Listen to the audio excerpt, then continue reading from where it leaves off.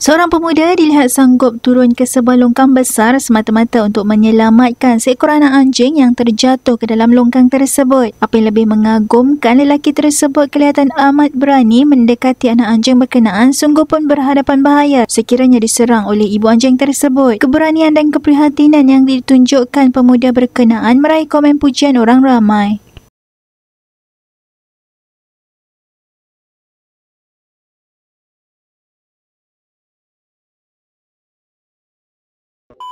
Música